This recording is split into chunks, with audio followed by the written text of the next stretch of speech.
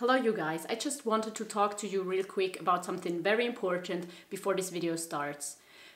I guess all of you have read and talked about racism last week. Now this week is over and a lot of creators start putting out their normal content again. But of course, racism is not just over, and the action we need to take against racism isn't over at all. So I just wanted to say, even though this is a minimalism channel, I really want to make sure that this channel is welcoming to everybody that is interested in minimalism. And even though I think I am not racist at all, I want to educate myself more, learn more about it, and I am absolutely willing to change things in order to be more welcoming for everybody. And that being said, I also want to say that I absolutely know it's up to me to make sure this channel is not racist in any way. But if you want to say something, if you want to leave advice or tips or just thoughts you have about this topic, you are welcome to do that in the comments and I will make sure to read every single one of them. And I also am absolutely willing to take criticism because it's a very important subject I do not know enough about. With that said, thank you for listening and I hope you enjoyed this video and since it is a very long video I added some chapters to it which you can find in the description below and clicking on the chapters you're interested will move you to the part of the video where I talk about that. Hello everyone, today I want to share my minimalist journey with you and just talk a little bit about how I came to minimalism, what it has been like, the past four and a half years where I've actually been a minimalist and even before as a child because that has something to do with minimalism. So if you're new here, my name is Lia. I'm uploading videos twice a week about minimalism. So if you're interested in this topic, consider subscribing to my channel. And now let's get started.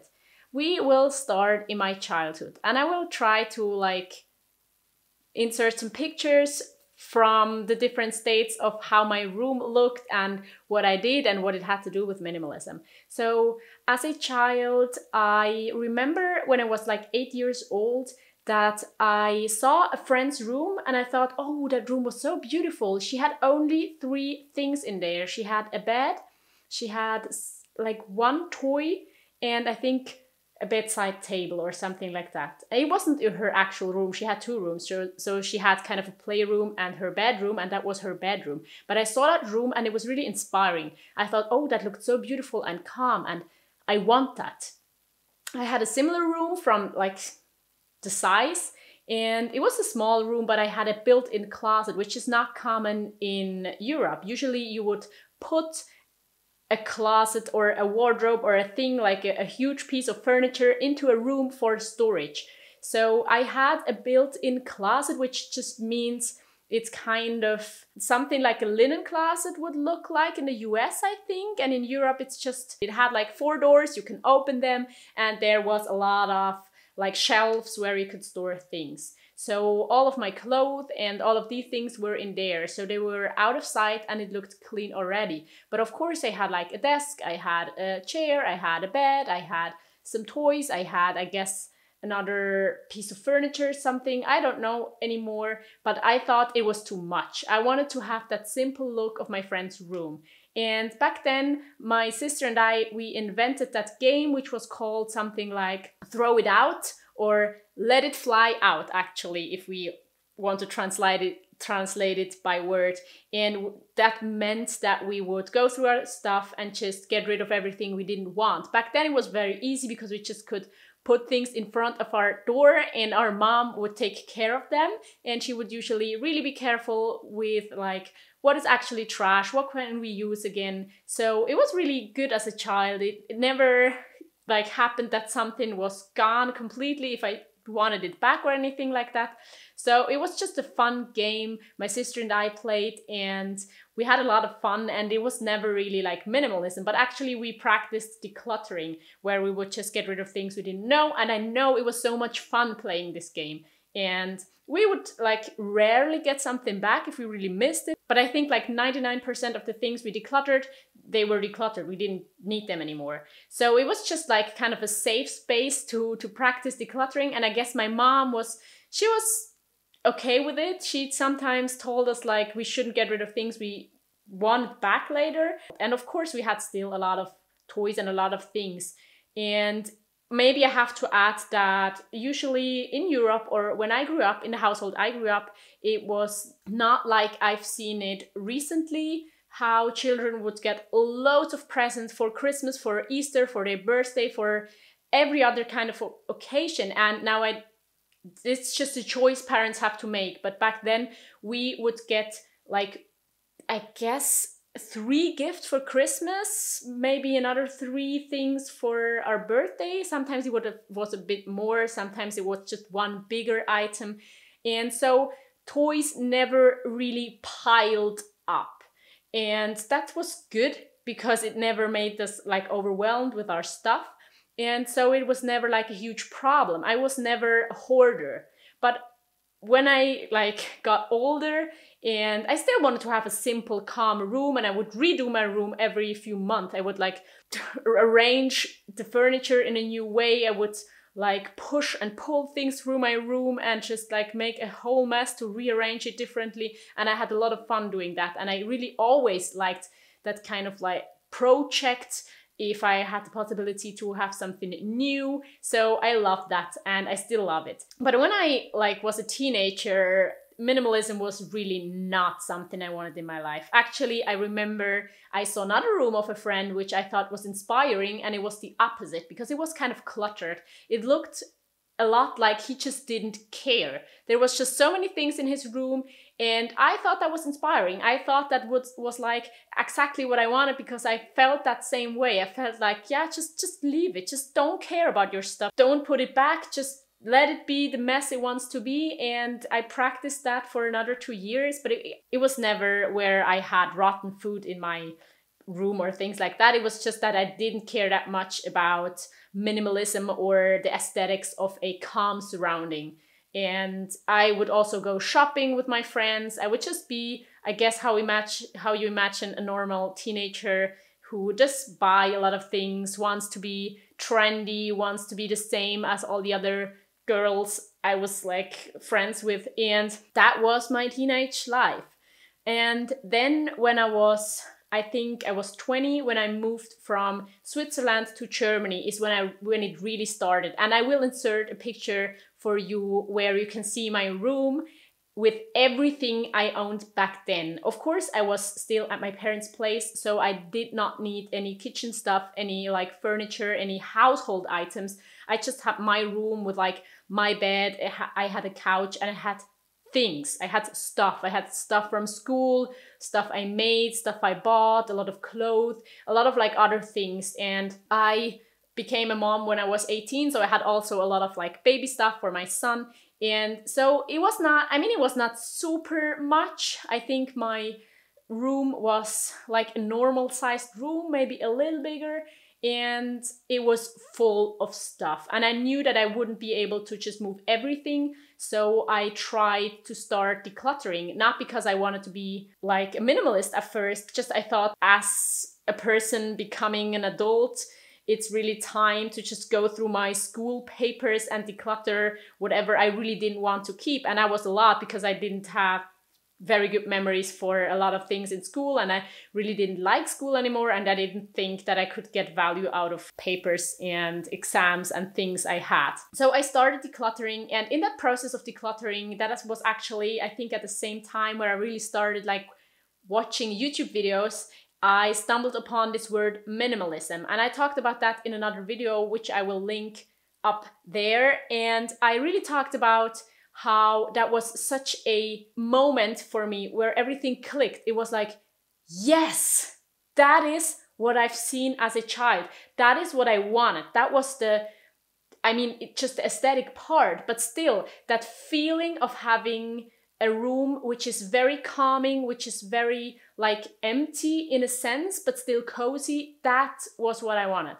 And that is when I like started binge watching YouTube videos about minimalism because I didn't know that that word existed before that and it was such an amazing thing to see that there are so many other people feeling similar to what I felt because I didn't know that that was a thing. I mean, of course, I thought other people had similar thoughts than I had, but I never knew that that kind of desire to or that like inspiration from having such a surrounding could be something that a lot of people actually think about and that which is actually a lifestyle or a term to, we can talk about which is actually a community where i can connect and see how other people handle that. Because i never like knew anybody else who would declutter or get rid of stuff if they they didn't have to.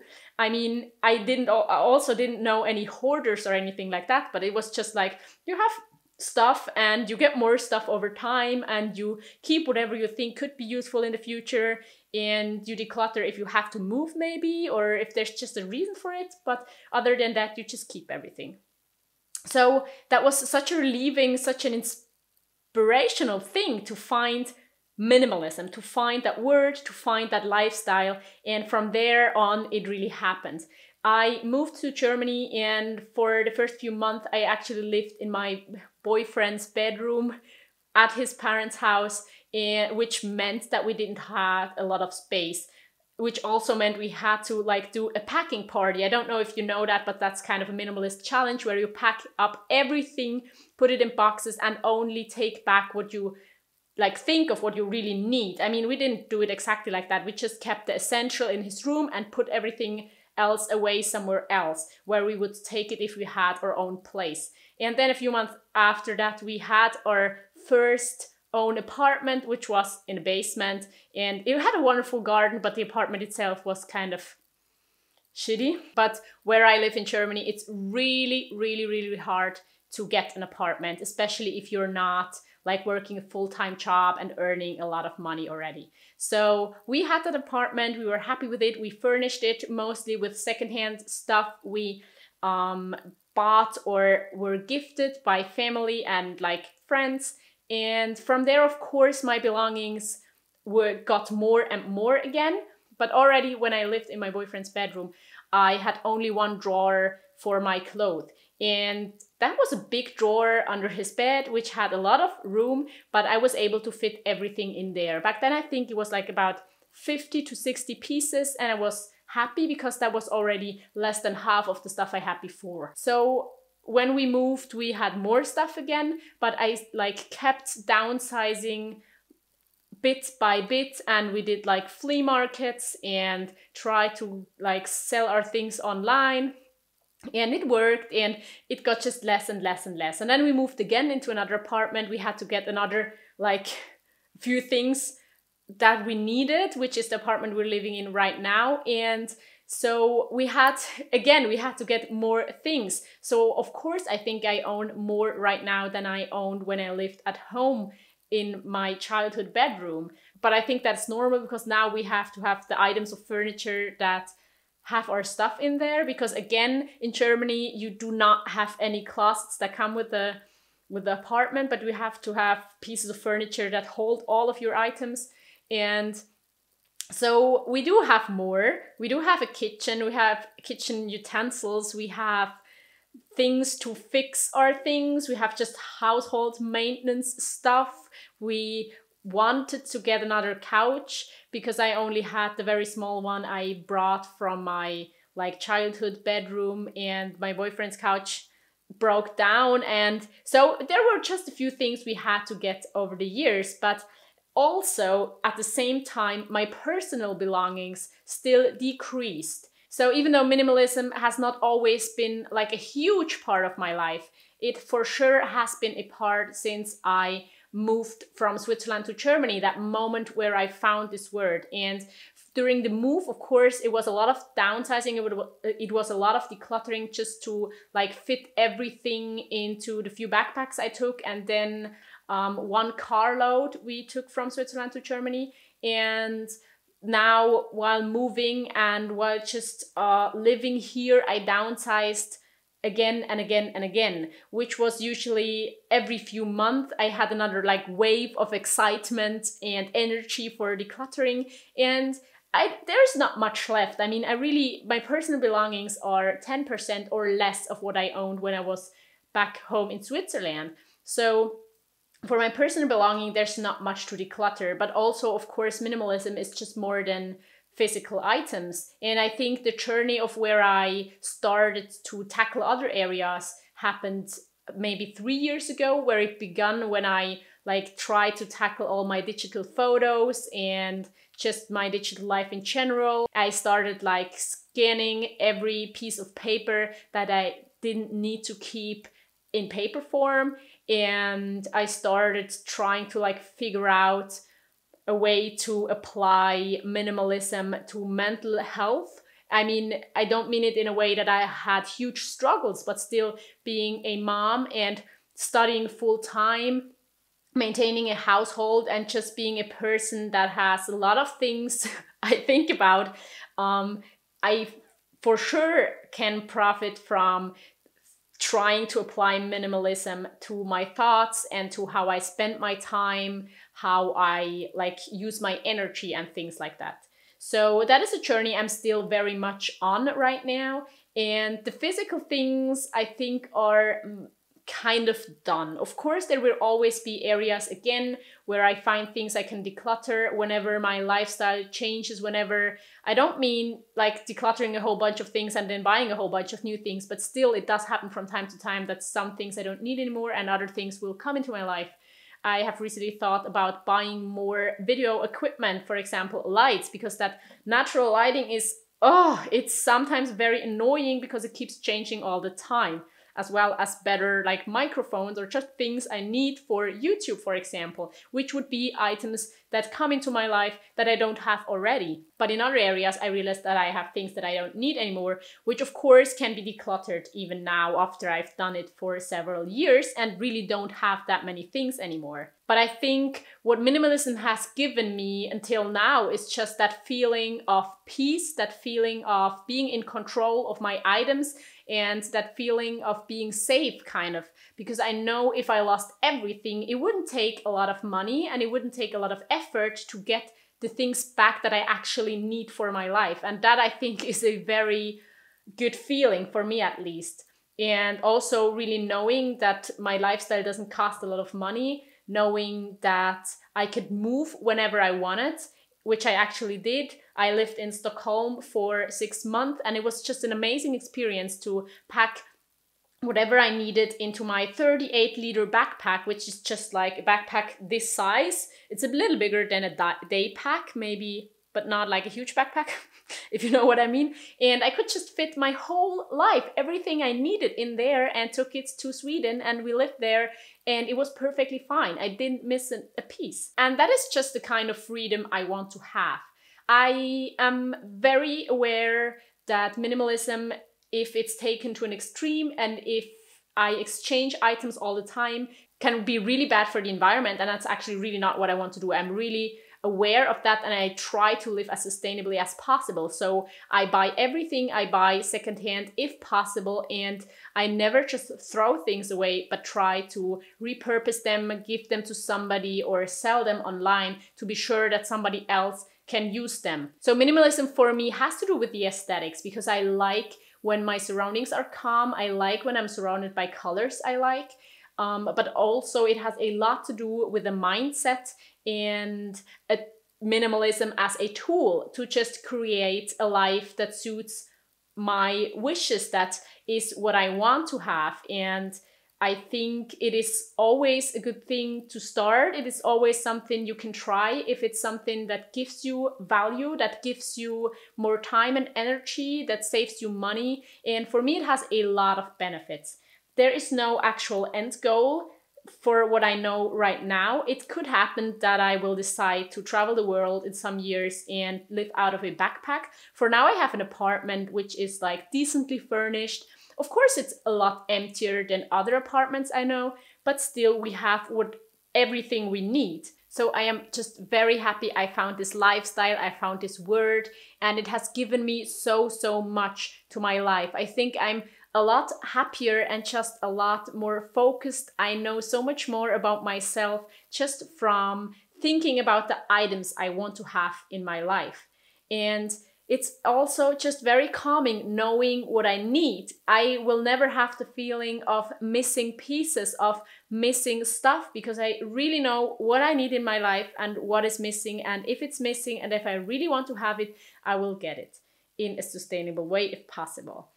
I hope my minimalism journey will continue in the future, being just as inspiring for myself, being just as like helpful and I hope to learn so much more about myself because I'm sure there is never an end to it. And I think my minimalism will change. Of course, it won't be so much focused on material stuff because I'm really almost done with that. Of, of course, there will be a few items changing from time to time, but I think there's so much I can like learn with minimalism when it comes to mental clarity, when it comes to how I spend my time, when it comes to really creating the mindset and the feeling of life that I want to have, as well as just getting to know myself better, because I think that's a thing where there's never really an end goal. There is always more that we can understand about ourselves, and there's always more that we can learn to be able to like live with ourselves in a way that makes us happy and is con- contributing to a good world and having a positive impact without like stopping and ourselves without making things that hurt ourselves just by understanding how we are, what we want, and how we can contribute to this world. I hope you like this video and if you're interested in seeing more, I will link you some right here and I hope to see you next time. Bye!